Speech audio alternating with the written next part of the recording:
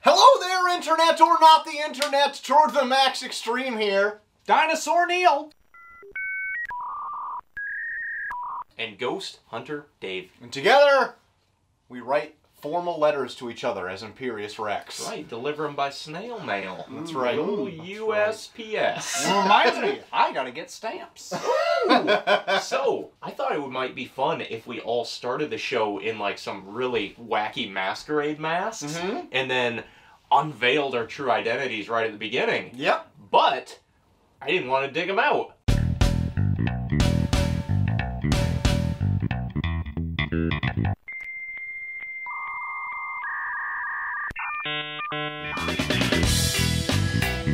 Private Eye right now, a uh, one of its kind, at least at the beginning, until there were more shortly after. yes. Yeah. But this was a digital first comic Mhm. created by Brian K. Vaughan, Marcos Martin, Yes. and colored by Muntsa Vicente. Published in 2013 on Panel Syndicate, mm-hmm. yes. an mm. online distributing center where readers could pay whatever they wanted Mhm. to download issue by mm-hmm. issue or collection by collection. Yeah. And this was something that BKV and Marcos, I believe, created for for this. Yeah, this was like the first thing of this kind. And since Yeah. then, there's been a couple more kind of high end creators that went to it. But I have no idea if this thing pays anything, if they're making any money off. it. Oh, I have no idea either. I haven't really followed up. Get a I- couple generous backers, maybe, but like, Yeah. who knows? I have no idea. Not sure. Eventually, it was printed in hardcover format by Image. Yes. So they retained all the rights, obviously. They put this nice uh, widescreen format, which are a pain in the ass to read, I might they say. really are, Yeah. but it's Digitally, it's not bad. No, But- it is definitely formatted for your screen. yes. And the fun, if you don't know anything about the story, too, it's uh, Set it up. okay. I will set, set it the up. stage. So the stage is this. The In year 2076. Oh, 2076. I didn't think you'd know the year, so I'm, I'm giving you a, a, a I would have a gimme. ballparked it. All It was- it was good. And go. Uh, the cloud, the information cloud has burst, and now we're living in a world where the internet does not exist. Everything is physical once again. Mm-hmm. And what the meta idea is here that Marcos Martin said, like, you know, Brian, we should put this book ironically out as a web exclusive. And Brian K. Vaughan was like, yes. Even though I hate everything about the internet, Uh-huh. I love this idea. And so that's where this idea was born. Where are we going to find a web big enough, Marcos? and so this came out as a like web exclusive comic. Obviously, it's been printed off several times. so in the future, privacy is top of everybody's priority list. That's right. all of the private information that everyone has been storing online is now out in the open. Lives have been ruined. Yes. Mm-hmm. So now everybody, when they're in a public place, wears a very gaudy, goofy Halloween mask Yeah. everywhere they go. Yeah. which, like, to me, that is essentially like an online avatar. Yes, that's Yep. exactly it. That's They're- why they're so fucking goofy looking. Right. Mm-hmm. And elaborate. Yeah. So I'm like, okay, that's fun. It's just like having an online persona now, Mhm. but you just make it public. You get to go out as who you feel. Like nobody's judging Yeah. for what this is right now. Everyone's living their best life out in the open, however they want to look. But what are they doing? But I, I don't know. Getting coffee. I, I, I guess I, I I'm not sure like what they're really hiding. It just they're expressing themselves as they would on the internet That- nowadays. That, and I think it's more of like a fear or superstition that something is going to leak again. Yeah. Because, like, when they mention the cloud burst, it's like, have you been to ashleymadison.com? It's, it's like they were meant, they mentioned it's like, it's not all, it's it's the search history that got everybody. Yeah. it wa- So, Yeah. and boy, oh boy, don't look through any of mine. But, like, uh, but that that, cloud was busting all over the place. Boston makes you feel good. but like that was the point and it which everybody's lives were ruined. It was their search history. It was things like that. So people just go out trying to be as anonymous as possible. Which is interesting because also in this uh, futuristic universe, the cops have been replaced by reporters. Mm-hmm. So there is no police force. They're just like the news. Yeah. So Yeah. everybody wants everyone's business. They're just like soaking up secrets. Yes. Because you know it's not all readily available now. So like tabloid journalism is the drug of choice. Right. Yeah.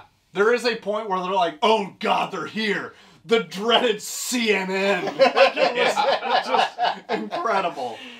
What's fun in this is that there is a older character that would be our generation. Yes. In this, that they He's he's the main character's grandfather. yes, Yeah. who gives kind of like his perspective on like what our generation would say. Like we had nothing to hide. Like we're just letting it out there, and then they put a spin on that. It's like you had nothing to hide until you did. Yeah.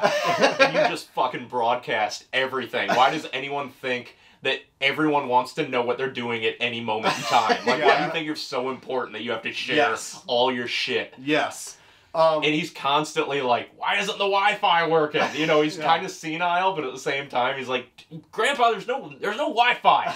You're imagining it. There's no Wi-Fi anymore. Yeah. And the, I love the old man. He's just covered in tats, like just sleeve tats. He looks just like you know if we grew up. I don't know why, but he reminds me of your cousin Paul. Paul Yeah. to a T if he was 70. Oh, absolutely. Yeah, I know. Coos. Hard to believe. Hard to believe. I'll sell you an age yet right now. I'll say, tell you what, got a card. It's my only one, so I'll keep it. But is that on the? You got that on camera? Got the. Hang on to that number. I'll sell you a good, uh, a good package deal. Speaking of package, rock hard. Rock hard. Flick it.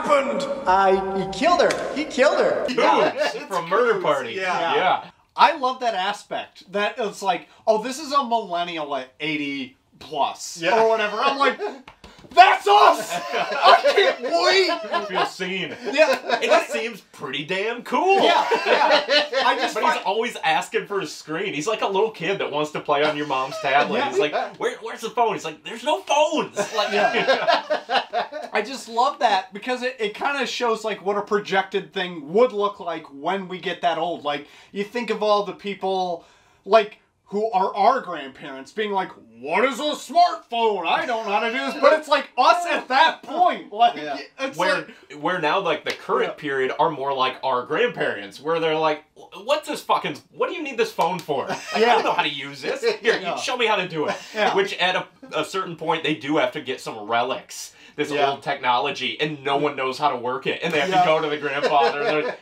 how do you how do you fucking turn this thing on Yeah, I got like, a charger in this junk drawer yeah, here. it's like, how do I uh, get this email? He's like, that's an iPod. You can't get email on it. You know? And you know what? Another reason I may like this book so much is that lately I've been wanting to pull away from the internet, and this makes me feel a bit at home. It's like I don't need that shit. I'm gonna do everything very tactile and physically, and maybe that makes me feel comfortable. Make You sure to I mean? tweet your gardening videos. yeah. I will. All right, good. We're gonna keep up the speed. We've kind of set the stage. What is mm-hmm. the main story of this then? It follows the private eye, Yeah. Mm-hmm. the titular private eye, known as PI, Yeah. Mm-hmm. and he is hired uh, basically just like to your normal like Chinatown style Yeah. cases, like take photos of cheating wives and shit like that. Yeah. Uh, one of them was it, it, your first exposure to him. He's photographing this beautiful woman coming into her penthouse apartment, and she takes off like her mask, and she's a very ordinary looking woman. Right. And he's snapping the picture. He's like, "Gotcha," you know. Yeah. Yeah. But then he gets involved in a murder case and uh, ends up kind of working with the sister of the murdered woman, Mm-hmm. trying to uncover like what did she die for, what was she involved in, what's gonna happen Yeah. to the world, Yeah. and gets into this big plot where the evil organization, the evil agent, wants to restart the internet. Yes. And that is the dastardly plan that he's trying to stop. Yeah. Which is like, okay, that's and they're saying like, no, we can't we can't bring back the internet. Can you imagine what would happen if something like that occurred? What a travesty. Yeah. My my uh, love for this also comes from like BKV is very like very reserved for doing stuff online. You found that out Uh, Oh yeah, we have a BKV story firsthand. from the early days of the of the show. Yeah, Um, but uh, the point where he like tries to craft a world in which like the internet now does not exist, and now other uh, career paths like librarians now Yeah. are high up in the echelon of like super high end jobs where privacy is their most sacred thing to be possessed, and so librarians are there to keep secrets pretty much of Mhm. people's search history because now everything is physical media. yeah, Yeah. And so, like, if you go want to go rent Mein Kampf yeah. of the fucking library, nobody will find out unless they can sneak their way into a librarian's house Good and graces. yeah, yeah, Yeah. and try to like bribe them or whatever. Yes. Yeah, it, it's a it. I think it's an um, a super fun idea to go Mm-hmm. not so far into the future, hmm but retroactively A couple generations. Yeah. yeah, a couple generations in the future, but also like bring in a couple generations back into Yeah. the future and like have it go full circle again. I think it's kind of like a fun idea. Yeah, it's a great way to do satire where like it's literally holding the mirror up to us and saying like, look at what you're fucking doing. Yeah. But at the same time, it's like, but also like, imagine if we didn't have it. Like, is this better? You know, I don't like, know.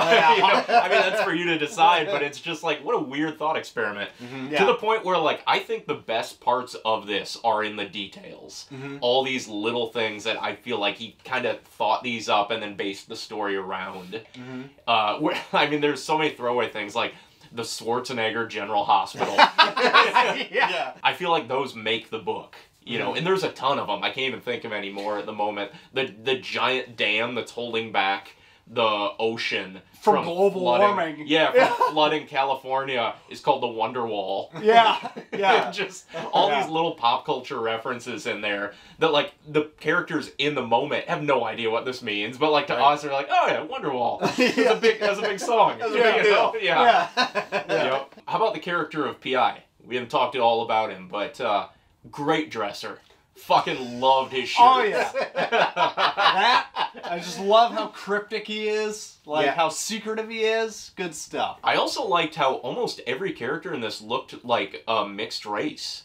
yeah. Like, Yeah. He himself looked like black and Asian. Yep. Yeah. I thought. Yeah. Mhm. And almost every character in it looked of Asian descent. Yeah. I'm like, interesting. Yeah. Even when he's being pursued, like over the press intercom, Yeah. they're like, uh, it's a person like about I don't know six feet tall, mixed race, da da da da da. Probably hard to track down, especially with a dream coat on. Oh yeah. I love the fucking dream coat with the face on the back that's like a haha fuck you now you can't see me type shit. I Yeah. assumed it was a Cheshire cat That's Yeah, because Pretty a great. Cheshire cat can turn invisible. yeah. I never put that together until you just said it. I, it took me a long time to get it, and then I was like, that was staring me in the fucking face. It's a Cheshire cat grin. That's Yeah. awesome. That's incredible. But they don't ever like call attention to it or No, anything. I was no, like, no. oh, that's a good little detail there. And I, I think I was looking at the back matter, and uh, the artist Marcos Martin came up with that. Oh, sweet deal. Which, reading the back matter, it seemed like Martin came up with a fucking lot of this. I'm like, holy shit, maybe you should get top billing on this Yeah. thing. I want to talk about that real quick because I loved the art. in Yeah, the art in this is It's stellar. so good. It's dynamite. It's Yeah. so stylistic, so unique. The colors are chef's kiss Yeah. good. Yeah. That is why I mentioned the colorist. And it's our fault. We don't always mention everyone on the creative team on books when we're reviewing them, but I thought like the colors in this fucking make the book. Mm-hmm. So Oh, I yeah. did want to make sure we called him out. And apologies to all the other people that we don't call out when we just say like the artist and the the author, but man, they are great in this. Yeah. Top notch. Dream team. I mean, that is a testament to how much an artist can bring to a book. Because, Oh, yeah. as I mentioned in the back matter, it gives a lot of insight into how they created this. And Brian K. Vaughan, love him. You know, he's one of my favorite authors. But I feel like a ton of this was carried by Martine in terms of like the character designs and everything. Like everything that you take away from this book was like a visual thing. Mhm. And a lot of it fell in his lap. Yeah. So, what did you think as this all kind of reaches its conclusion, where uh, PI and the sister of the deceased woman, I have a hard time with their names because I read it like a week ago. they finally track down the the bad guy Yeah. and spoilers they accidentally launch the missile that's going to create a satellite in space into the Wonderwall and flood basically like Los Angeles. Yeah. And then uh, PI seemingly dies in Mm-hmm. the flood, and the woman who's been helping him kind of takes over. Mhm. Where I feel like, oh, I would like more of this. Like, I don't so much care about the characters as I want to see more of the universe that he's created. Yeah. Accurate. And I feel like there's so much more you could explore with this. Yeah. Yeah. I I mean I love the characters in this, but I also want to live in this a little bit longer. I Mm-hmm. also love like the very last panel of this. Like the book is called Private Uh. Eye. They find a bit of the dream Boom, codes. boom. and Yeah. she puts it on, and the only thing you can see is her one eye, and she her whole head is invisible. Yeah. Like, Yeah. that's a great fucking last panel. Yeah. Yes. It's amazing. I mean, it's no big secret. uh, Like, the book tells you right off the bat, like the big Lex Luthor X villain who's like controlling all TV. Yeah. Might as well be Mike Teavee from Willy Wonka for all I know. Yeah. Is the big bad who is secretly putting like cameras in everybody's televisions. Yes. Because he wants to interconnect the world. Yeah, he wants to do it again, you know. Uh, I I enjoyed a lot of those, like the the one scene in where one of the engineers of his company's like, I don't know if anybody else noticed. I noticed this. There's been secret like cameras put on these. Did you tell anybody else about this? No, I'm the only one. Thought I should tell you first. Great. Boom! You're dead. Yeah. Yeah. You're dead. Yep. It's been my plan all along. I've been secretly coming in at night and putting them all in myself. Yep. Beat you to death with a lamp. Yep. And I also love that like the villain's evil plan really wasn't that evil. Yeah, it's He what just- we live with already. Right. Yeah. What'd you think of the cab driver that he- he Always like piles around with? His like teenage underage. Yeah. underage girl that drives him because he doesn't have a license. Yeah. I liked her. Yep. Yeah, I like Kind of the Shia LaBeouf. Yeah.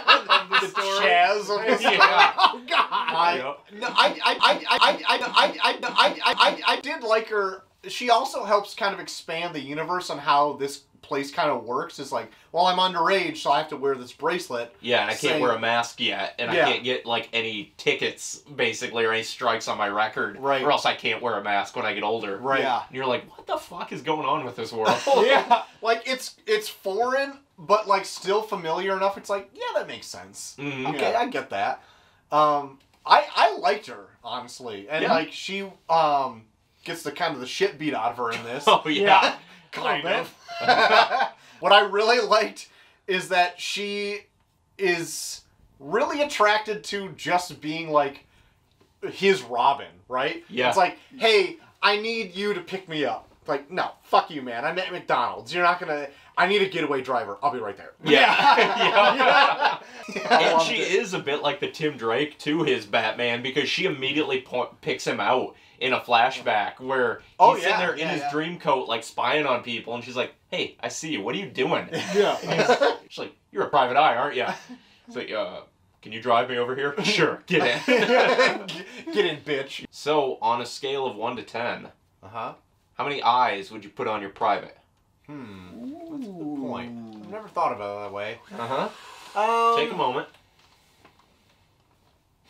I'm giving it eight. I can't. I'm even giving it come up a eight. pun. I really uh quite enjoyed this. A lot of it has to do like the concept altogether of being like this place without internet. Also, like too that we're like bewildered. Like, how do they live without the internet? And it's only existed for maybe twenty years. Yeah.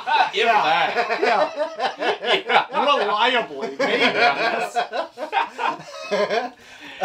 but uh, the art also drove this home for me. Like this was such a treat to flip through. Yeah. My God. Yeah. And it was a breeze, too. Yeah. It was a very quick read. Yeah. Uh, Brian K. Vaughan is not wordy, which is nice. No. Yeah. Like yeah. when, like we're talking about, he he cares for his artists. He knows when to step back and just let the art do the the Heavy walking. lifting. Yeah. Yeah. yeah. Yeah, and that's great. It's like, you know, we, you read an Alan Moore, and it's amazing. Or like a Neil Gaiman thing, and it's great. Amazing prose. But, like, they don't all have to be that. Like, there's no right or wrong. And, like, you can have a brief story, visual story that is just as powerful Yeah. as a Mhm. super wordy one. I enjoy this book quite a bit. I think this is my third read through of it. Mm. Like I, I don't know why. It's like a guilty pleasure of mine. I don't, I don't even say guilty pleasure. Like I genuinely just really like this book. It's only 10 issues, so you feel guilty.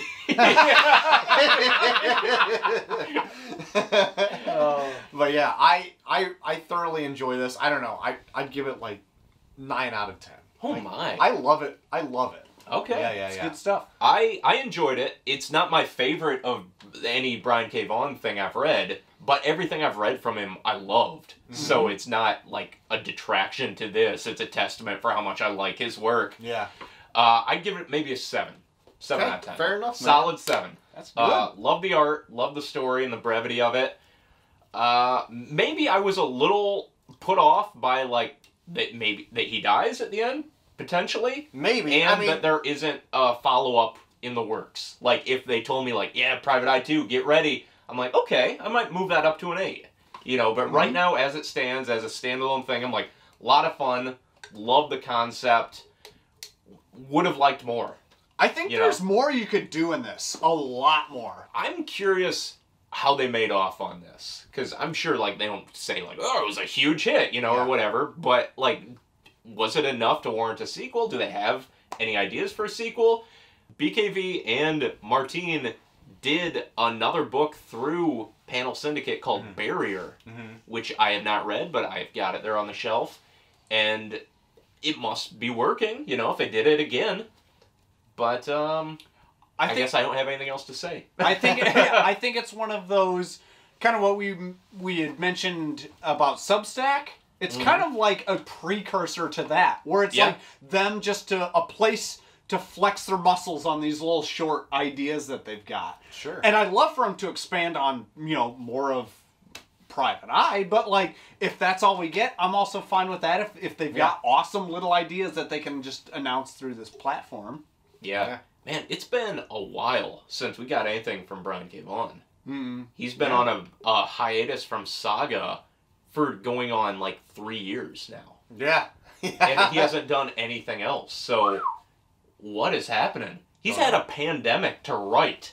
Yeah. My guess is they're just gonna fucking dump the end of Saga on us. Oh, really? Because there's been nothing. There's been nothing. No communication. I don't think Fiona Staples has done anything either. So my guess is they're just like radio silence and boom, here's Saga. Here's the end of it. But I have no idea. I mean, it's just conjecture Mm-hmm. at this point. But like, isn't it weird that we haven't heard anything? It is kind He's of had weird. no projects. None of them have. And you think he'd be coming more out in the limelight now that his show is going to be premiering on FX? Well, maybe that's he's been maybe wrapped up in that too. I don't have any Yeah, idea. could Maybe he's a consultant that he's busy with that. Yeah. But like, what if like in the next I don't know year or so, like Saga drops again and he's got oh I also have these four other projects that like That would be great. my be time awesome. off I just had to collect my thoughts. Here's all this shit. Like enjoy. he's not wasting his And time on I the internet. will. Yeah. yeah, yeah. I also like in the book like if he it's- isn't, God help him. hey, I picked up a severe drug habit. oh no, more, no more books. See you in hell. a fun, a fun thing. in- BKV RIP. Out. I like it. There's a funny detail in the book. It's like, yeah, once the internet crashed in five years, there was like a spur of dramatic science increases or whatever. Because Yeah. nobody's fucking around watching cat videos on the internet Yeah. or whatever it is. I also love that. Oh, ain't the truth. yeah. God, should we cut to a clip of those cats banging that you sent me? Probably should. Absolutely. So, uh, has anybody out there read Private Eye? If you have, let us know in the comments. You can get it for a song. You below. go onto that panel Buy it for a dollar. Buy it for a dollar. That's right. You can go back in and be like, I really liked it. I'll buy it again for twenty. Support, Yeah. support the cause. Whatever you want to do. That's right. Um, if you want to join us uh, as a lovely patron, you can. Here is a list of lovely patrons that already have Oh my But god. with- God bless every one of them. your Oh, yeah. contributions. You get access to a bunch of premium content as well as access to our Discord, Mhm. uh, where you can uh, chat with us all throughout. The I day. might Photoshop you a Shrek if you give me a picture. Imperius Oh, Shrex is a thing apparently. I think everyone would prefer you didn't. I prefer if I didn't have to. All It right. is haunting. Uh, but uh, that's a thing we can all do. But until next time, where we talk more BKV. Oh my god, you bet we are. Great. I, I had to rebuffer for a moment there. Internet was slow. I have been Troy to the Max Extreme, Dinosaur Neil. And Ghost Hunter Dave. and we've been Imperius Rex. We'll talk to you next time. Bye bye. We did it. We did a show.